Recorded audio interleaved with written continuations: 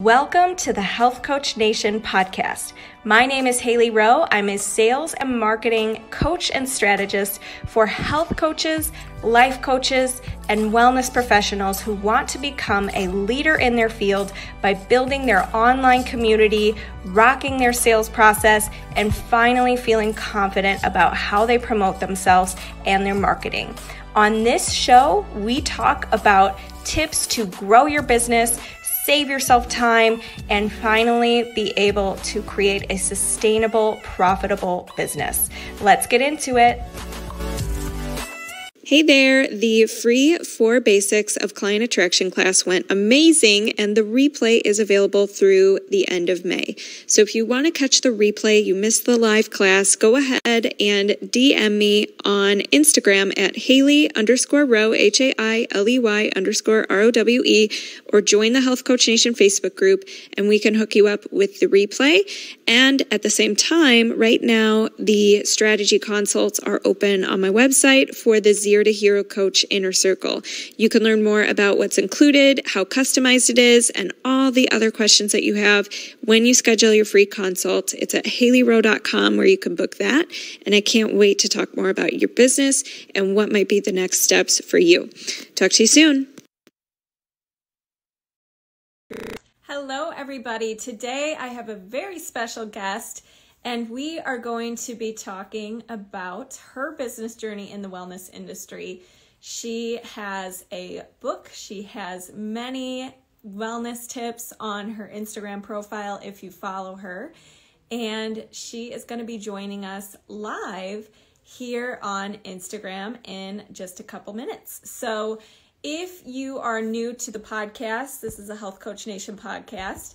And we are going to always be talking about time management tips on this show, um, marketing tips, business strategies, suggestions, things like that. So if you have questions while we are live today with Elise, you can always put them in the comments.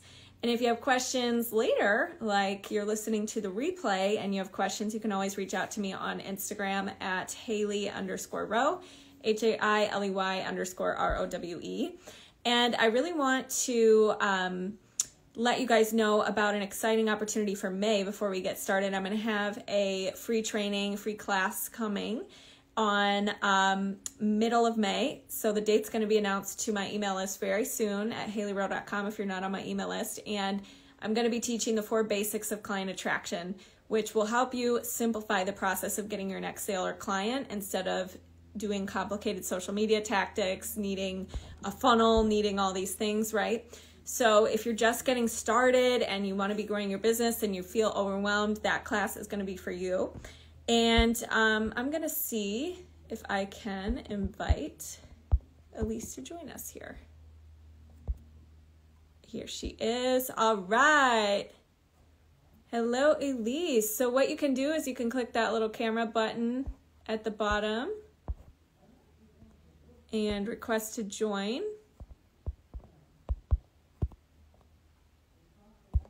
Invited you.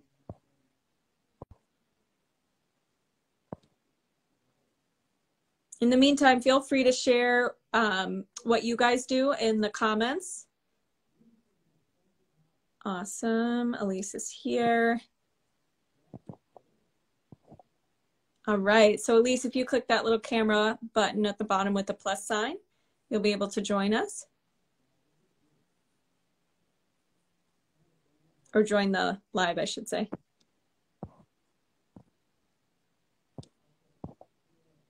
Awesome. Here we go.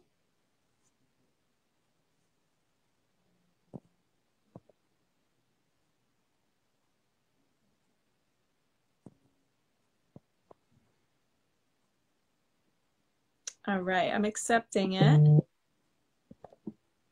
Here we go.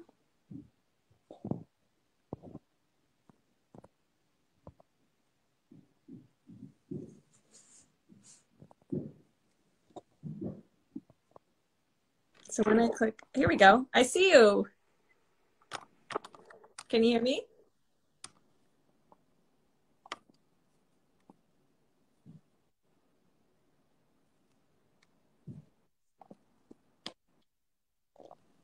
If you guys are watching in the comments, feel free to post where you're watching from and what you do. Today, I'm super excited to talk with Elise about her wellness business journey. We um, both have been following each other on Instagram for quite some time, and I always love seeing her tips and what she's up to and how much her business has grown. Um, Elise, can you hear me okay? I, I was trying to get the lighting right now. I can hear you, and I can, can you see hear you. Yeah. Oh, you can. Hello, hello. Wait, it's Hello. not really working. I was That's trying to get the. No, Oh. that's not going to work. I'm just trying to. It's not letting me go to a normal. How? It, see, it's trying. I'm trying to get the filters off. Okay, is that There- no? It's still. Looking beautiful in that lemon blouse. I love it. Wait, wait. Something. Some sort of weird filters on. We got to get this off. Okay. It's not. Um, How do you turn it off? If you go back to the very first one, like that's like the Yeah. non-smoking sign, like the non-symbol, non-filter sign. Okay, you look good. Is that is it off? It should be. I can't even see myself because there's writing, but I it looks off now, which is good because I don't want any weird filters. I just wanted to see you and talk to you. How are you? I'm good. How are you? I'm good. It's nice to like connect. Like you said, we've been like following each other and known about each other for a long time, but we've never had a face-to-face conversation. So this is great. Yeah, very very excited. So why don't we start with you just introducing yourself and what you do, and I want to really dig into your whole journey becoming the you know professional that you are today. Okay, well, it's a long one, so I'll have to like give you the um, brief version of it. But um, I'm Elise Museles, and I used to be Kale and Chocolate, and I think I share that because one of the points I want to make is that like businesses, even if you plan on doing something, it always like evolves and takes twists and turns and changes. And I really, um, I use food as the doorway, but I help people more with mindset about food. I just released a book a few months ago called Food Story and um, that was really a big deal and a dream come true. And before getting into the wellness space, I actually practiced immigration law.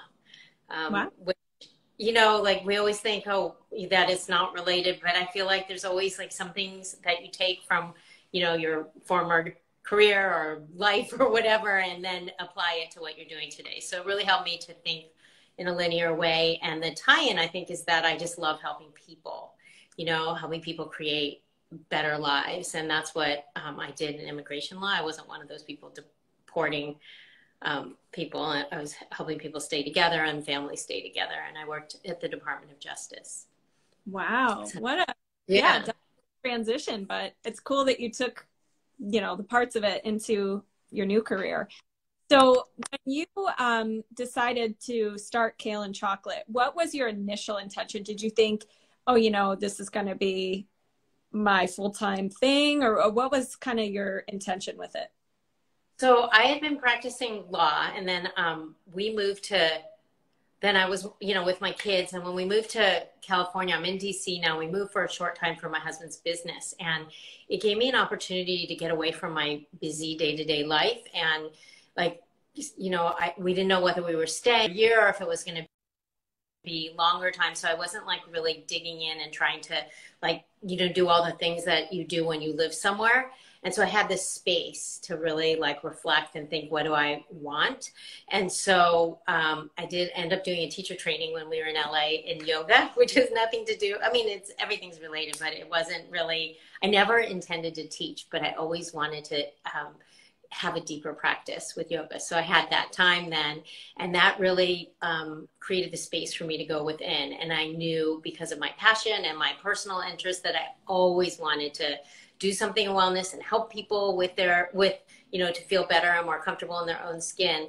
And so I said, okay, if we end up having to go back to DC because I loved it in California and LA where I'm from, if we end up having to move back, then I'm going to do this program, the Institute for Integrative Nutrition. And at that time, it was live or it was hybrid. Mm-hmm. So I was in DC and it was in New York. It was very close. And so we ended up moving back. Decision made. I had been thinking about it, like actually carrying around the brochure. Like this was 2009. So we had brochures back then. Now I don't even know if people carry brochure, but I was carrying around. Should I do it? Should I do it? And then I ended up doing it. And I knew that this was it. This is what I wanted to do.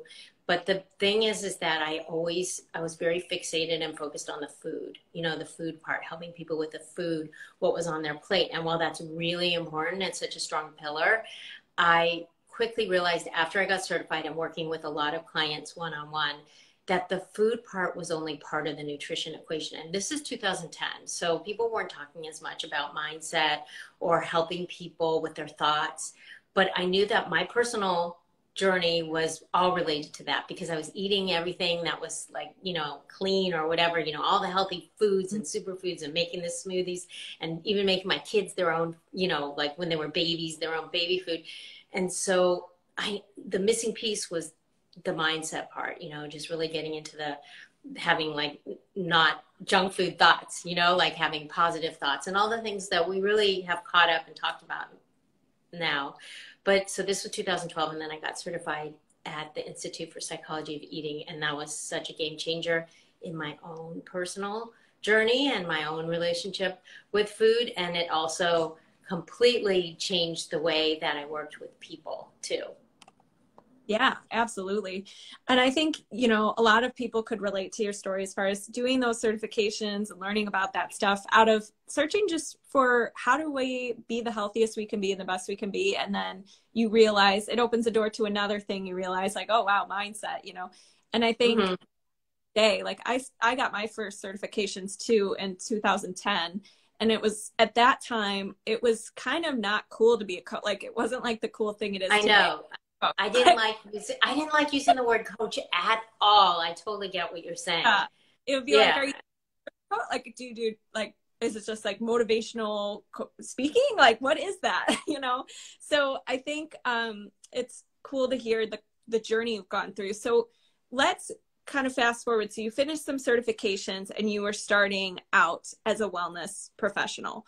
What were some of the hard lessons you had to learn or um, aha moments or even mindset things you had to embrace when you were first starting out as and you didn't have the following you have today you didn't you know be who you are today yet well i think the hardest part is that eh, for me initially it was like i i wanted to be spending more time with the food at the beginning and talking about the food and cre- and i was wearing all these different hats that i had never worn because before i was working at the department of justice i would go and show up and do my work and you know and and be done. But then uh, being an entrepreneur you know you have to do all the back end of the business from creating the website running the website you know writing the like we have this business model where so much of our content is free. So from writing newsletters and blog posts and all of that and i just i hadn't really realized like that i was going to be doing all of those things. I'm not sure why but this was you know way back. And so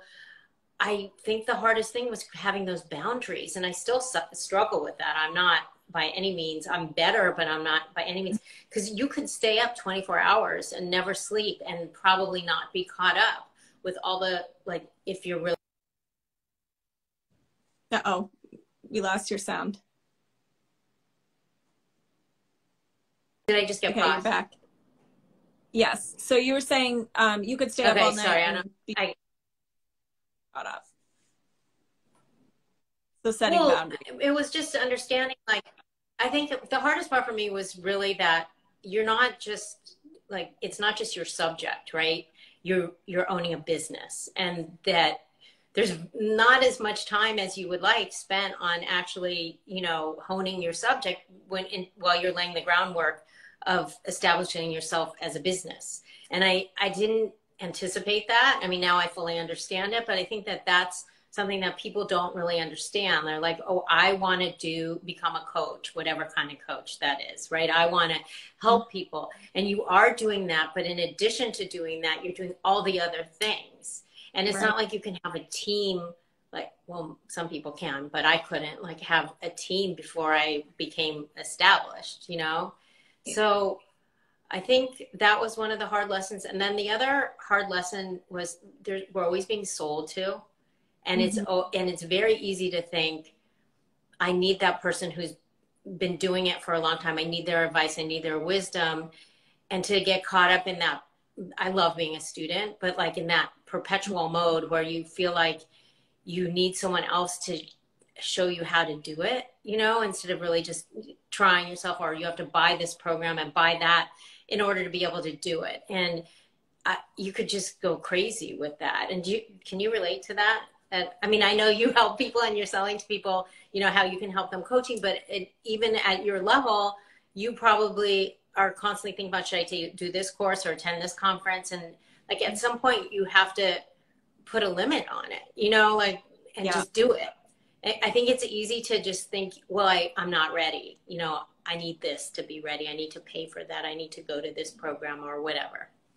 Yeah, you bring up two really good points. I think the first thing, the magic of my business started to happen when I did start to constrain, meaning like when I stopped looking at as many other types of coaches and what they're doing and how they're doing their content and actually just being like, no, I'm going to figure out what works for me and I'm going to focus on getting my stuff out there and not overthinking every single step of the way and like, oh, well, they post at this time. So I should like getting into that nitty gritty of like, yeah, take forever to do that perfect blog post or newsletter or whatever it is. And there will always be more things you can improve on.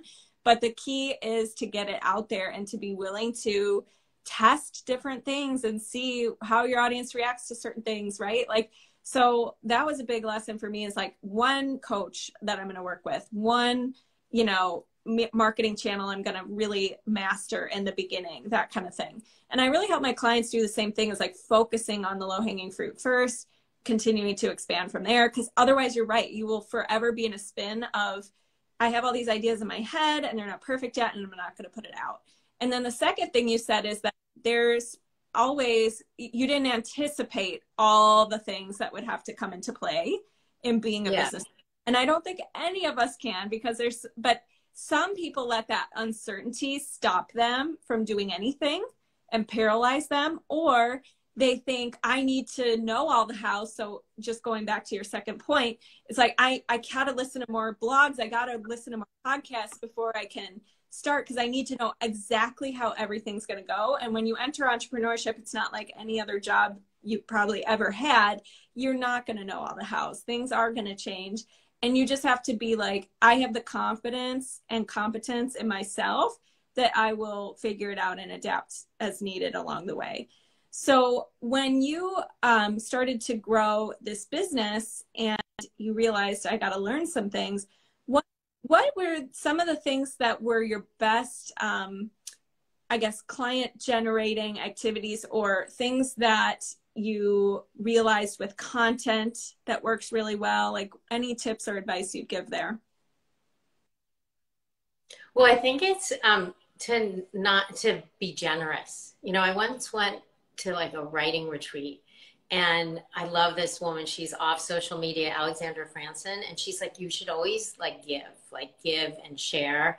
And then that's like when people feel that and they feel that you're like generously like sharing and sharing authentically. That's the other thing. I think you know telling personal stories is huge. And but um, you know, for me, I don't know. Everything just kind of happened organically, and and I've had different waves with my business you know, where I've been focused. Sometimes it was much more on the one-on-one clients.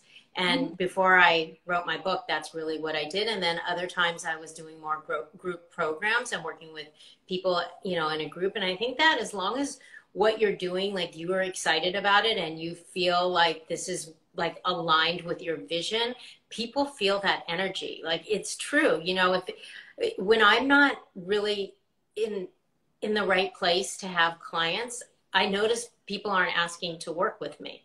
You know, and when I say not in the right place because of personal things going on, because I'm writing the book, you know, but then when you sort of open yourself up and you like, you genuinely want to, you know, bring in more clients or, you know, sell a program or whatever it is, people feel that authentic energy. So that, I mean, I think that would be like a, a one of my best tips.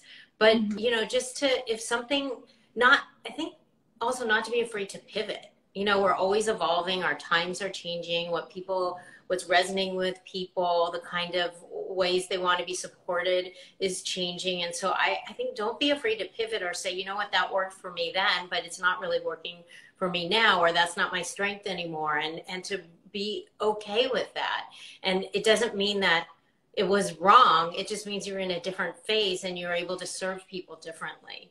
And so that's where I am right now. I told you this by we were texting or something that I'm now working on a group program. You know, I was I, I'd like to take a lot of the content that I put into my book and break it down and really help people in a different, more digestible way because there's a lot in a book and it's different and it feels different when you're when you're receiving it in different mediums. You know, from videos to emails to group, you know, workshops. So, um, that you know that's where I am right now. Did I answer your question?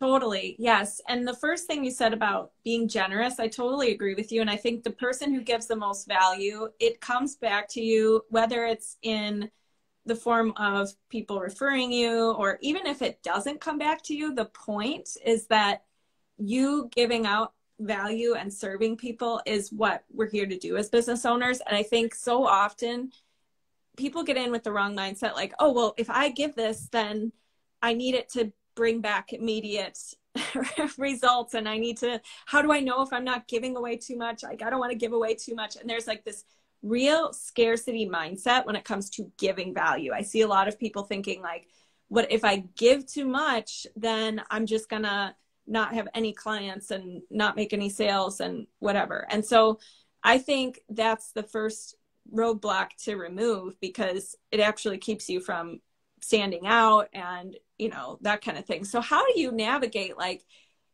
i want to give but i also want to offer for people to work with me and and have it be a strategy you know a strategy or something like that. Like how do you manage that? What was did you have any of those blocks as you were putting out good content? Yes because you don't like you don't want your content to feel like halfway right? You want it to be but at the same time you don't want to put it all out there so that you know you're not feeling like you're offering something different. And i think that's a that's a really good question. I think that the way that we show up on social media every day have these conversations and i've done a ton of podcasts. I have my own podcast that it's it's hard to hold back because you want to you know like i'm an overachiever and so i want to make sure that i answer completely and that i share completely. But um, i think that there's something very different when i mean for sure when you're working one-on-one with people like because you get to really hear their stories and and talk to them in a different way and and and so that is different but I, I don't i don't see it as the same thing there's only so much you can say in a 45 minute conversation. There's only so much you can say in a caption. And also, people take, you know, you can repeat the same content in different mediums, and people will like absorb it totally differently. And the example, this is like a really little example, but like if I do a still photo from, have a still photo of a recipe, right? And then I put in the caption something about it or what it means to me. And then I do a reel with the same thing in the voiceover, people are absorbing that content in such a different way, you know, that even though it's the same thing and the same recipe. And so I feel like there, when you work with someone one on one, when you work with them in a group or, you know, or share some sort of program that they can buy and do on their own, it's, they're, they're absorbing it differently. So I don't feel hmm. like, you have to worry so much about giving it all away because you're giving it in different ways. I hope that makes sense. Makes sense. Yes. I agree with you. The people who listen to your free content and actually go implement it and change their life with it is a small percentage of people and it more power to them if they do that. But most people need that personal touch, that personalization, that guidance from you. And anybody can find any information on the internet. That's not what we sell we actually are helping them implement the impl- uh, information into their life. And sometimes people want to go deeper than a blog post or a content piece of content, like you said. And so it's not the same thing. So I totally agree with you there. And I think that um, one of the things that helped me is just not having an attachment to needing it yeah. to for me. Like I'm putting it out there and I know I trust that the right people will reach out and you know I I think for me personally, like when I follow someone or listen to their podcast or something, I and I get value from it or a mini win or a result, I actually feel much more compelled to be like, okay, now I want to pay you because I want more of this, right? So to me, it has the opposite effect.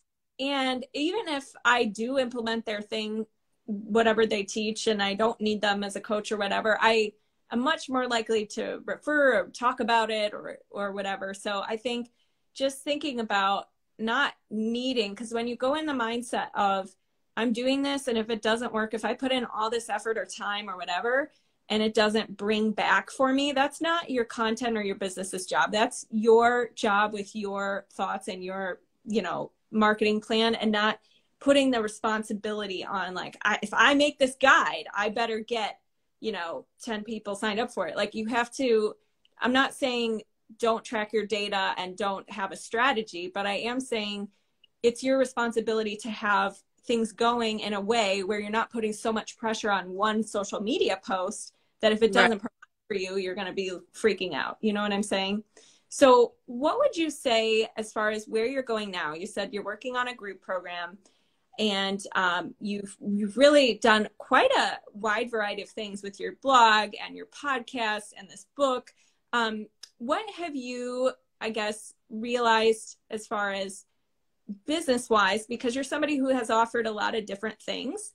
Um, what have you realized as far as like how to get yourself focused on something? And also tell us more about where you're going now, where you're headed right now. Right. Well, uh, you know, I mentioned that you have to be willing to like pivot and, you know, and evolve and everything. It's sort of uh, just like all of us, there, it's a weird time, you know, because we've just, we're coming out of like the last two years and we want to talk about it. But imagine that writing a book and publishing a book during that time period. So, like, not only did our life turn around, but then like I was trying to write a book at the beginning of like I started writing it in the end of 2019 so through 2020 you know when the whole world mm-hmm. stopped. And so so much of what I was doing is just not the same for multiple reasons. So I had this big break because I was also from a content perspective very hyper focused on the book you know? And so now I have like I mean, I still have my podcast is going, and my I I have a one-on-one practice, but I I want to keep going with this whole food story message because I think it's a message that people need to hear, and it's not okay to be you know uncomfortable in your own skin and not have peace with food. And this is just a different way of looking at how you relate to food you know and and to go back. And so I, I still want to keep, I'm, I'm still here in it in this same message and then the next logical step would be to have a group program a signature program where people can you know take it with me especially the first time and mm-hmm. it'll be a combination of like you know um, live some live part of it and then also some recorded video and worksheets and um, even a cooking component to it. So I'm really excited. It's going to take a little while to develop. So that's really what I'm focused on. But something that I've always, always wanted to do, and of course, over the last few years, people haven't been doing this that much, is leading retreats too, mm-hmm. because then you can really like immerse people in an experience and go through like like have them really feel like it's transformative over a short period of time. I love taking people out of their element. I love the details. I'm so detail oriented. So, you know, that's that's on my radar. And, um, you know, I'm still in this book, but I have other books inside of me. I just don't know, you know, I'm not sure yet if, if I'm, I'm there, but I do have ideas that I think are different than some of the other books out there. So that's always on the, the list, but I'll, i would love to keep growing my podcast. do you enjoy podcasting? Yours is a little different format. Yeah, I love it. I, you know, did it initially back in the day to connect with new people and have a reason to connect with new people, you know, and learn from them. So I, it was kind of out of interest of like I was a podcast junkie myself and listening to so many podcasts and I was like, well, what if I could just talk with people about their journey and stuff too, right? So I have really enjoyed it. Um, and it's been a good way, a good way to nurture my audience and that kind of thing. So that's exciting that you're going to be Yeah, so I have this vision with the podcast, and I don't know how it's going to work out. So right now, I have like just the very classic format where I have one or two guests on at a time. You know, we talk about their food story, and then mostly how it led them to their expertise, or there's some sort of uh, you know connection to what they're doing, to what they've experienced. And I really want to do something where I have people sharing, like not just experts, but like people sharing parts of their food story. And I, I don't know what that looks like, but it's almost like humans of New York kind of thing, but in the food story, you know, where people are sharing their stories from farmers to, you know, everyday people to people who've, you know, struggled with it because of diet culture. Just yeah. having having more of that, you know, where you know, our themes on the podcast, but it's really it would be so much harder to coordinate than just having you know one guest or two guests but that i really am itching to do something on my podcast that's very different. So if you have any thoughts on that um, or any other podcasts you know that are that do that let me know. Okay i love it. I will think about that. And i think you know one thing that i want to point out that's cool about you and how you've evolved is you have this message of you know i want to help change people's food stories and i want to help them you know change how they relate to food. And it doesn't necessarily you're open minded as far as how that message takes place and is delivered. So whether it's in your book or it is going to be this new podcast format or it is going to be your group program as long as the mess you're really like focused on your why and therefore yeah hows have become clear for you and and they've you just kind of one thing at a time done that in your business and it's really cool to see. So i think one thing the audience can pick up is like what is your miss, mission and your why? And then how it's delivered stay open minded you know? Like yeah. maybe a group program maybe it is going to be you write a book or whatever. Um, so that's something i wanted to point out. And then the other thing you said before that now i'm trying to remember I think I might have forgot. So never mind. But um, we got some good comments. Dat, Data Rockade Coach was enjoying it, and thank you for that. Um, so, Elise, how can people stay connected with you, check out your podcast, all the things? Yeah, well, the, my podcast is called Once Upon a Food Story. It's wherever you listen to podcasts. And then I'm on Instagram, all of social media, but Instagram is definitely my baby at Elise Museles. You can see it here. And then um, my website. I have a lot of good content that I don't share on social media that goes up on the website from blog posts to recipes, you know, and um, just always adding to that. And that you can find out about working with me one on one. And that's my name, elisemuseles.com. So that's it. But Hailey, it's so good. Thank you so much for having me and for all that you do to help people get clear on their vision and how they can like you know make a difference in the world. I really appreciate you and all your tips that you always share. Thank you so much. Yes and i appreciate yours and i'm excited to see where you take things. Thanks for having me. Thanks everybody. Thank you so much for listening to today's episode.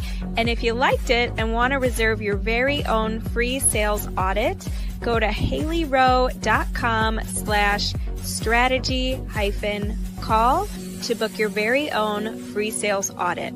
On the call, we'll talk more about the common concerns you get from your ideal clients, how to overcome those concerns, how to coach through objections, how to change your mindset around sales, and improve your sales process so you can be closing and converting more clients. I can't wait to connect with you and go to haileyrowe.com slash strategy hyphen call to take the first step. Thanks so much. Have a good day.